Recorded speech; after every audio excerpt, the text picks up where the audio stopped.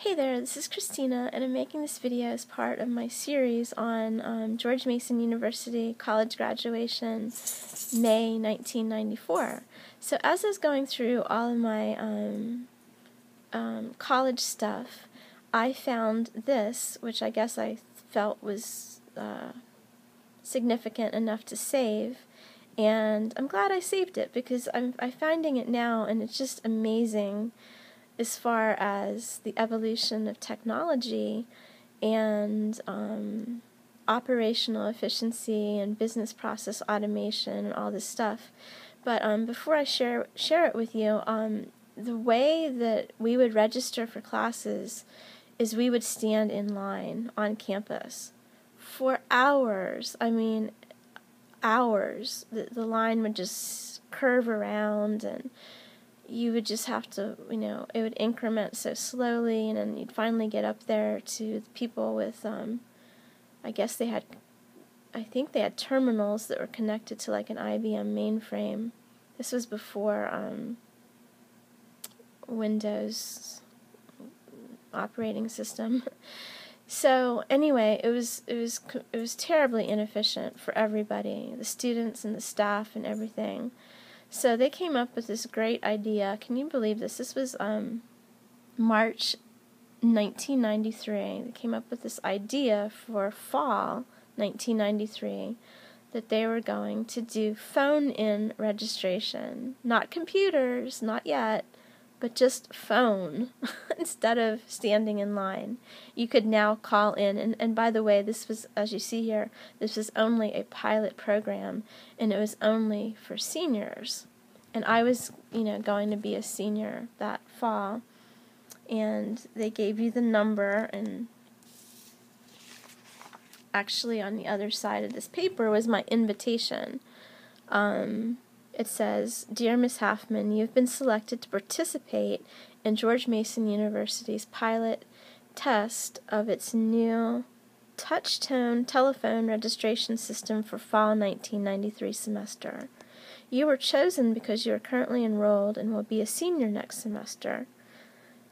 Um, as part of this pilot, you no longer have to drop in a request form or wait in line to register for classes.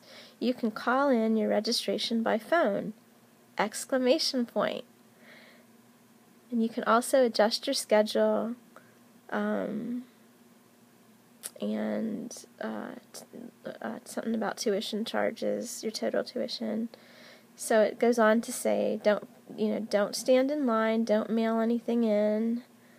Um, you're you're given a certain scheduled day and time to call in and a pin number, and it won't work any time before that date and time. And thank you for participating in this pilot project and you will be given priority based on the number of credits that you've earned and accrued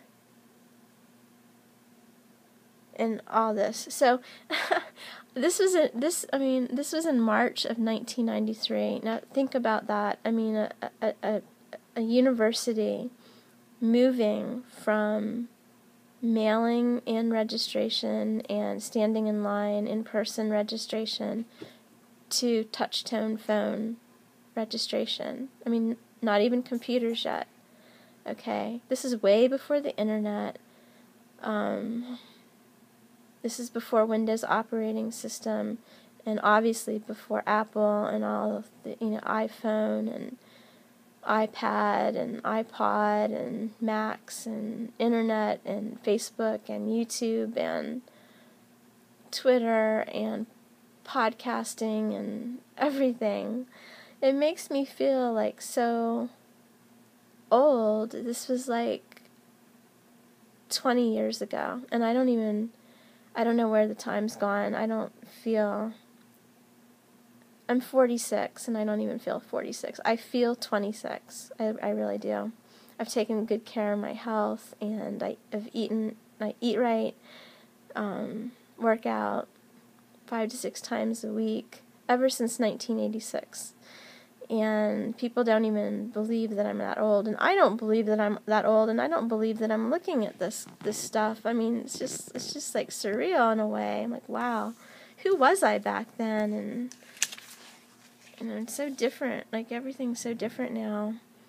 And this, I mean, this was in this thing that's taped. This is like an article that was in our school newspaper that's taped into my scrapbook and yes, it's yellow. Like this color is this used to be white.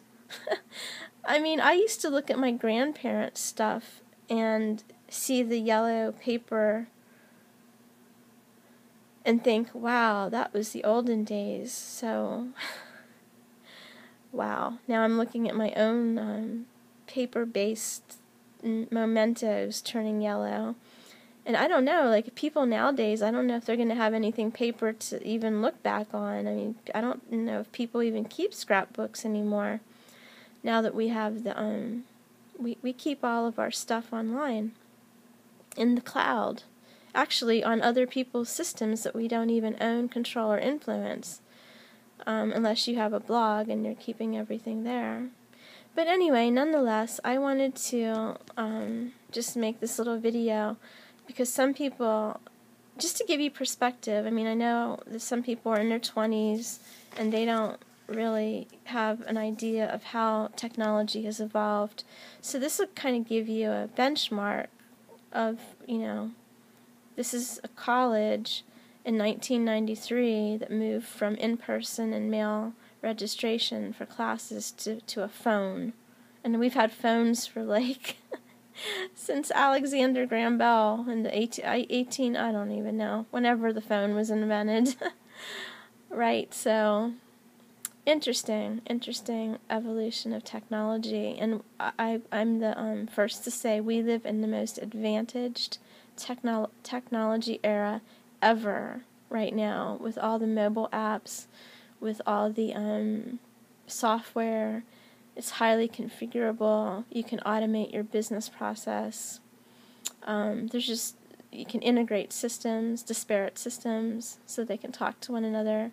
I've actually been in, the technology field since 1996, and I've watched the whole entire thing evolve from the inception of the internet. And it's just really exciting. So, if you're younger and watching this, please understand that you have every advantage. There's just the internet is a gateway to the world. Don't take it, I mean, don't take it for granted because it's just so easy and free. I mean, to access, it is really powerful. And I can only imagine what you guys are going to create and do having this resource because back when I was um, 26 or 18 or whenever, um, everything was in person by hand. I mean, even like, look at this. This is Courier font. I mean, this was probably done. I don't think on a typewriter, uh, on a you know manual typewriter, but definitely like an IBM Selectric or something like that. Um, I had a typewriter in college, a Smith Corona and um and and then when I wasn't using that, everything else was handwritten by with pen or pencils. I mean, that's what you bought as far as school supplies. And I would read books, and that's time consuming, right? And I didn't. There was nothing like podcasts to listen to, so I would go to Borders, and I have hundreds of books on my bookshelf, and I would read books all the time. College textbooks, of course, for for my my classes, and then other things that I was interested in, like success and psychology and um, stuff like that. Um, mindset and personal development. I've been studying all this kind of thing since 1986, and it didn't stop once I graduated. In fact, it kind of accelerated because I've always been committed to learning and growing and very curious, like an insatiable curiosity about so many different things. And um, yeah, so this is all this was about. Um, phone in registration pilot program for seniors at George Mason University, 1993.